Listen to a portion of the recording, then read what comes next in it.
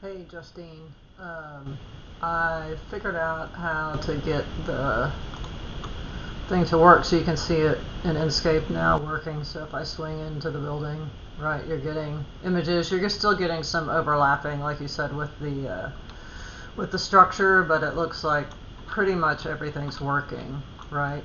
Um, if you come in and spin around, you're not getting the, the flickering except for in some unique places, I think, where you have overlapping um, surfaces.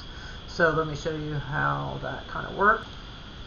So here's here's your file, right, that you sent me, and I'm not really going to mess with anything right now. You'll have to sort of figure out what you need to turn on and turn off for this, but I would suggest you do like a separate file for your renderings and because this is going to mess up where you are located in the XYZ. So basically what I'm going to do is I'm just going to window around this stuff and I'm going to file um, export selected.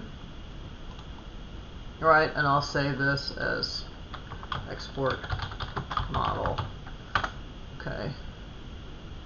And it's going to export all that stuff and then I'm just going to go to file new and I'm just going to start a large object feet and inches, you know, just a blank file.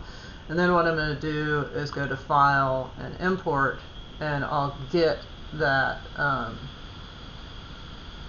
export model that I just did, right? And I'll click Open, and you'll see it'll bring it in, but you don't see it anywhere here. So if I go to the top and I type Z return, E return, and I zoom out, you can't see the CPlane at all, but if I type in line, and I start that line from 0, comma 0, comma 0, whoops, and I draw it, let's just say, to somewhere past here, right? And then I do zoom return, you can see how far away you are from that. So what I'm going to do is basically window around the model and I'm going to move it and I'm just going to move it. And if I hover over this guy, it'll give me the endpoint. I don't want to snap on any part of the model just to keep it at the original zero, but you'll notice I'll get rid of midpoint down here, but I just have endpoint and OSNAP on, and if I hover over this, it should come in here, and you could zoom in on it, you know, kind of get the endpoint of that line, right, because we just want that endpoint. And then you zoom out far enough and then you just come in and get the endpoint of that line. And you'll see it moves it, right? So if I delete this line now, and I go Z return, E return, I get that guy, and I'm kind of close. You could move it a little closer, but that should be close enough.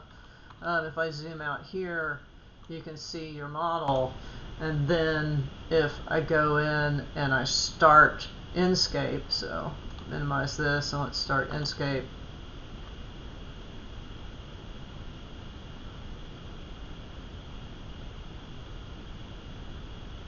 and I zoom in on it, you'll see, right, that it's it's not flickering and it's not doing all that weird stuff that it was before because now it's closer to to the origin. So you can you'll have to set up your views again, um, but you'll have to you know you have to move your origin closer to the model.